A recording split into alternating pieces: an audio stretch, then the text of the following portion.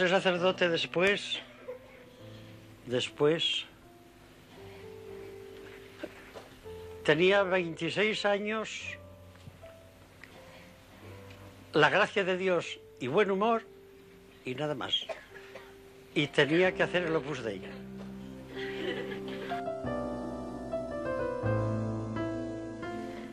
¿Y sabes cómo pudo? Por los hospitales.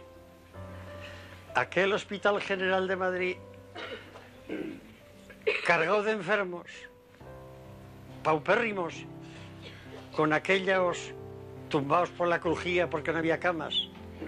Aquel Hospital del Rey se llamaba, donde no había más que tuberculosos pasados, y entonces la tuberculosis no se curaba, ahora no es enfermedad, ahora se cura. ¿eh? Los médicos han adelantado mucho. Y esas fueron las armas para vencer. Y ese fue el tesoro para pagar. Y esa fue la fuerza para ir adelante. Y el Señor nos llevó por todo el mundo. Y estamos en Europa, en Asia, en África, en América, en Oceanía, gracias a los enfermos, que son un tesoro.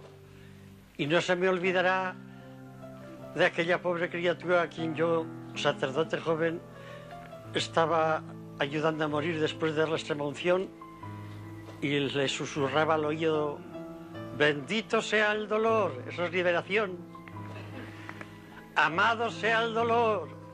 Y lo iba repitiendo con la voz rota, murió a los pocos minutos, santificado sea el dolor, glorificado será el dolor. Y no he cambiado de parecer. Esta es mi liberación. Anda.